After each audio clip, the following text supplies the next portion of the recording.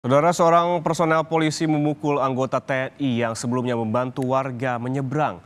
Polda Sumatera Selatan memastikan proses hukum terhadap terduga pemukul sedang berlangsung.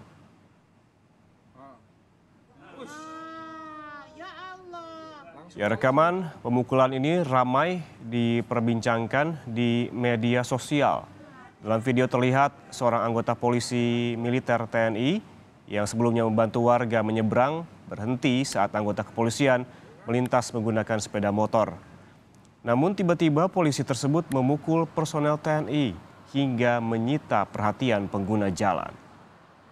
Kabid Humas Polda Sumsel menyebut terduga pelaku adalah anggota Satuan Bidokes Polda Sumatera Selatan.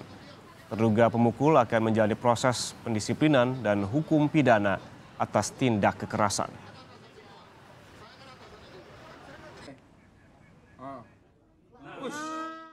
Kita uh, membenarkan ya kejadian tersebut dan sekarang sedang diproses oleh uh, Polda Sumsel ya. Bagi anggota yang bersalah akan kita proses aturan yang berlaku. Itu dipastikan akan diproses secara hukum juga ya? Pasti akan kita proses. Kita kan sudah ada laporan dari Denpomnya. Ya kita kita terima laporannya, kita proses akan kita periksa nantinya. Untuk sanksi internalnya sendiri Pak? Kan ada dua.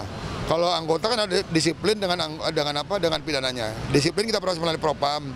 Yang pidana umumnya melalui krim krim um. Jadi dua. Sendiri diketahui dari satuan mana Pak? Uh, sementara masih kita dalami ya. apa uh, dari kesatuan dari apa dari uh, Bidokes Polda Sumsel.